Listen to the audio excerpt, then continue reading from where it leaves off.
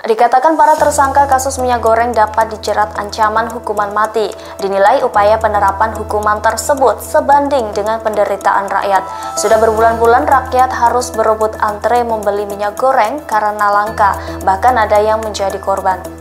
Dikutip dari Tribunnews.com, Guru Besar Ilmu Hukum Universitas Pajajaran, Profesor Romli Atmasasmita mengatakan seharusnya penyidik Kejaksaan Agung dapat menerapkan UU Tipikor, di mana penerapan UU Nomor 20 Tahun 2021 tentang pemberantasan tindak pidana korupsi dengan ancaman hukuman maksimal penjara seumur hidup atau hukuman mati. Romli menilai hukuman tersebut akan sebanding dengan sejumlah penderitaan rakyat saat mengalami kelangkaan minyak goreng.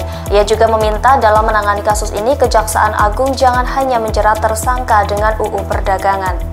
Diberitakan sebelumnya Jaksa Agung ST Burhanuddin menetapkan status tersangka kepada empat orang terkait kasus minyak goreng pada Selasa 19 April 2022. Para tersangka itu ialah Direktur Jenderal Perdagangan Luar Negeri Kemendak RI, Indra Sari Wisnuwardana, Komisaris PT Wilmar Napati Indonesia Master, Parulian Tumagor, Senior Manager Corporate Affair Permata Hijau Group, Stanley MA, dan General Manager PT Musimas Togar Sitanggang. Akibat perbuatan para tersangka, perekonomian negara mengalami kerugian, bahkan mengakibatkan kelangkaan minyak goreng.